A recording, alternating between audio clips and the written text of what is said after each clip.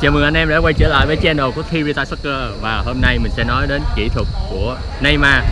À, Neymar có những kỹ thuật cũng khá tương đồng với Ronaldo, Messi.